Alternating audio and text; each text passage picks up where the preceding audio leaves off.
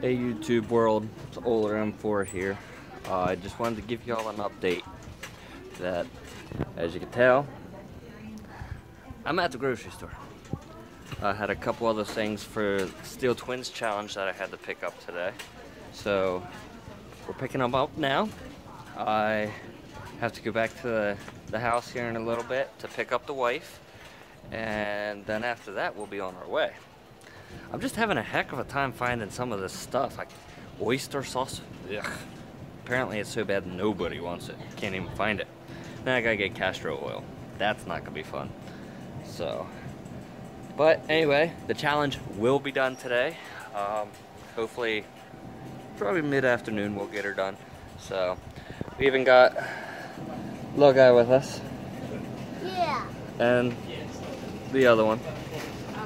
And the baby. And nobody So, anyway, challenge be here a little bit. Y'all stay safe, stay smart. See you after a bit.